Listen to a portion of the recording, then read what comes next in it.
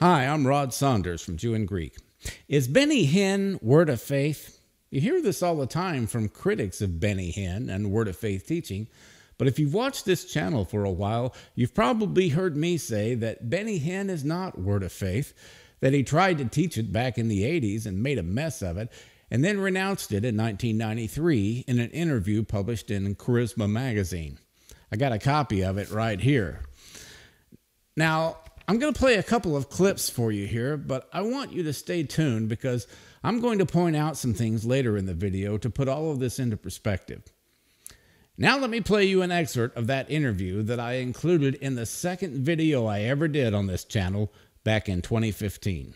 In an August 1993 interview with Charisma magazine, Hinn said the following The Lord is showing me some things I've been wrong about. At one point, I taught certain things such as the little gods teaching and Jesus dying spiritually. Now I've quit teaching such things, and I have made it clear that I no longer believe them. In the past, I also taught some things about faith, confession, and prosperity that were out of balance.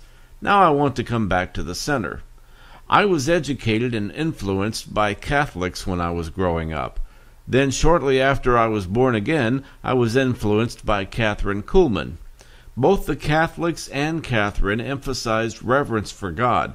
When I moved to Orlando in 1980, things changed. I got to know some of the faith teachers and began to read a lot of their books, so my teachings began to change. But I'll tell you what has happened recently. I am coming back to the way I was before 1980. After 10 years of filling my life with faith books, I got to the place where I found some extremes in this teaching. I respect these teachers as men of God, but frankly, they are teaching some things that I don't believe. For example, I used to teach that Jesus died spiritually and suffered in hell. Through my own study, I discovered that this didn't line up with the Word. When the Lord said, It is finished on the cross, He didn't add, To be continued. Things began changing in me two years ago when I told Christianity Today that the faith message doesn't add up. But I went on teaching some things because I didn't have the whole picture yet. When you're into something for 10 years, you don't change quickly. I don't believe that confessing the Word works the way I taught it in the past. Of course, we should believe and confess God's Word, but I don't believe we can just confess any scripture and make it happen. So Benny confirms what I said that he taught faith back in the 80s and made a mess of it. Now, some of the things that he considered faith teaching were things that Kenneth Copeland taught, that Kenneth Hagin wouldn't have agreed with, like the little gods doctrine and the extremism on prosperity and confession.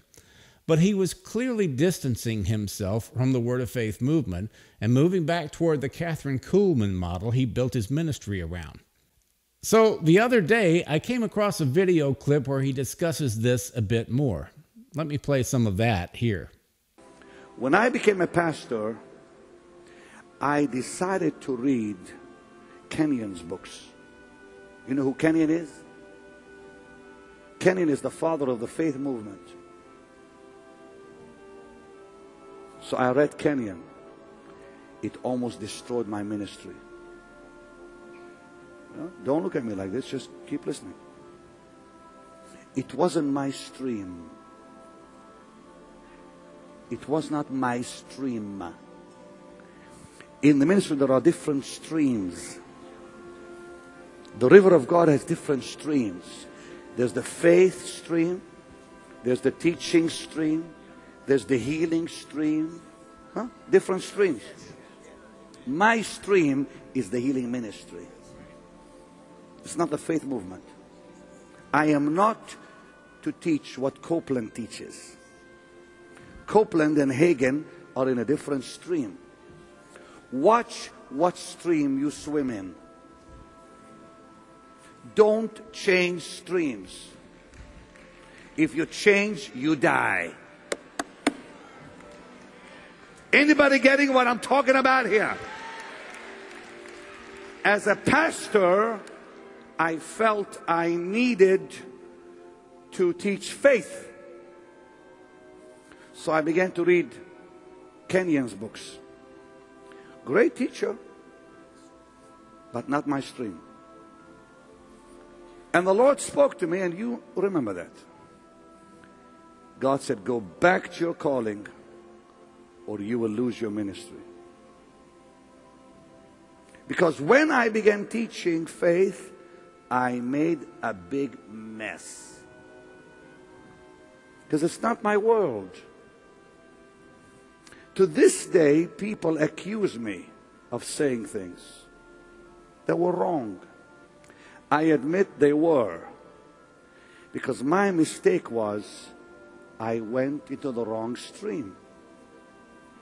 When I came back into the healing stream, everything became normal. My anointing came alive. Brother, if someone today gave me a book by Kenyon, I would not read it for a million dollars. You say, why? It's a great book, great teaching, wrong stream. I don't want to fill my mind with that stuff. I want to fill my mind with people of like stream. How many understand? Put your hands up high. Oral Roberts is in my stream. Kathryn is in my stream. Aimee Semple McPherson is in my stream. Maria Woodworth Etter is in my stream. How many understand? Put your hands up high. The healing ministry is my stream. If I get away from it, I mess it all up. People that have gone to another stream have moved into heresy because they start teaching what God never told them to teach. They try to teach somebody else's revelation. It doesn't work. Never teach another man's revelation. Teach your own. As long as you stick with what God gave you, you're safe. But if you teach somebody else's truth, you've gone. So, this is further evidence that he doesn't consider himself part of the Word of Faith stream. His stream, as he said, is that of Oral Roberts and Kathryn Kuhlman. Remember that the next time somebody tries to lump Benny Hinn in with Word of Faith teachers. Now, let me make some observations. Benny is saying that he messed up by moving into the wrong stream and teaching another man's truth. Well, if you believe that each of us has our own truth, that's relativism.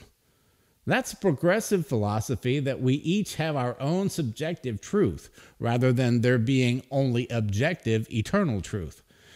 I don't think Benny believes that, so it's confusing why he would refer to another man's truth. Maybe he just meant another man's revelation. If that's the case, then that's okay. It's fine to stick with the understanding of the Bible that you have until your understanding evolves or changes. We all experience that. But to suggest that Word of Faith teaching is Kenyon's truth or Kenneth Hagin's truth or Kenneth Copeland's truth is wrong. It's either truth for everybody or it's not truth at all. If you don't agree with it, then say so. But don't characterize it as somebody else's truth. That's just confusing. Also, Benny Hinn's problem isn't that he was in the wrong stream. His problem is that he's not a teacher. God told him, Go back to your calling, or you will lose your ministry. I believe that, but I think Benny may have misinterpreted that. Benny's calling is to minister as a healing evangelist. He shouldn't teach because that's not his calling. He's prone to going off on tangents and saying ridiculous things like Adam could fly to the moon, and Eve gave birth out of her side, and there are nine members of the Godhead. None of that came from Kenyon or Hagin or Copeland. That's just Benny being a theological loose cannon. William Branham made the same mistake. He was called to preach the gospel and minister to the sick. But when he started teaching, he went totally off the rails. To this day, there are still hundreds of thousands, if not millions, who follow William Branham's nonsense about legalism, Unitarianism, and the serpent seed doctrine. His problem wasn't so much that he was in the wrong stream as it was that he wasn't called to teach. The same is obviously true for Benny Hinn. He doesn't know how to properly exegete and exposit Scripture. He hasn't gone off the rails like Branham did, but he has caused a lot of confusion. Benny Hinn is gifted as a healing evangelist. I'm not. I couldn't do what he does. Can you imagine me as a healing evangelist? No, I'm too boring. But Benny has a dynamic style and bold personality that is better suited for preaching the gospel and praying for the sick. And he's not a prophet either. Let's look at a few of his ventures into the prophetic. He said that Fidel Castro would die in the 90s. He died in 2016. He said that there would be devastating earthquakes on the east coast of the United States. There weren't. He said that in the mid 90s, God would destroy the homosexual community in America. Didn't happen.